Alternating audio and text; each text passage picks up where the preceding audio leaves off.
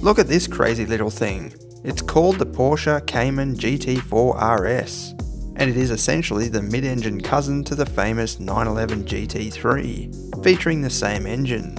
Like the GT3, the GT4 is developed by Porsche's GT Motorsport division, tested and tuned by racing car drivers. The RS though is pushed to an even higher level. Judging by the design alone, you could mistake this for an actual racing car that hasn't yet had its sponsorship decals added on. Various parts are made from carbon fibre to reduce weight, including the bonnet, front guards and the massive rear wing. As a result, the RS is 35 kilograms lighter than the regular GT4. It also uses bespoke suspension with 30mm chopped from the ride height, and the enhanced aero work provides around 25% more downforce than the GT4. The RS is also available with these 20 inch forged aluminium wheels, or optional magnesium, with centre locking nuts just like a racing car. Did I mention this is a racing car? They wear 245-35 front and 295-30 Pirelli P Zero tyres. Inside, again, this is pretty much a racing car. Chunky bucket seats hold you in firmly with harness belts, and there's a roll cage in the back. Some creature comforts remain, including climate control and a touchscreen interface. These seats might look as comfy as a pile of rocks, but they are actually more supportive than you expect. We're not sure how they shape up if you're a bit fat though, or really tall. Being mid-engined, you've got two boots to choose from, including a front compartment, which is big enough for at least one carry-on luggage case and some, and then another compartment behind the engine which can store another bag, with some space left over. Nestled between the boot and the cabin is the glorious 4 litre flat 6 engine. Naturally aspirated, it can rev to 9000 RPM, at which point it sends violent goosebumps down your spine.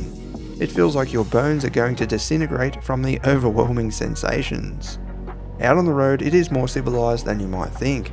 Sure, the suspension is firm, but no firmer than some hardcore hot hatches.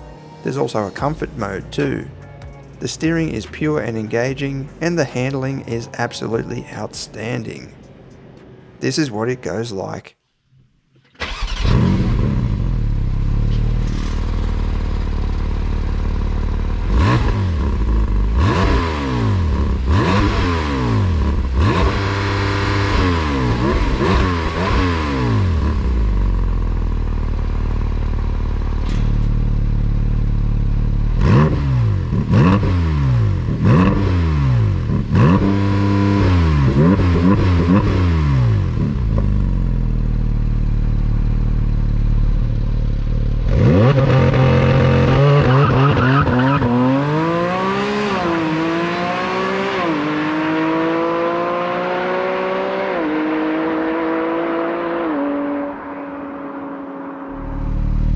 no, no, no, no.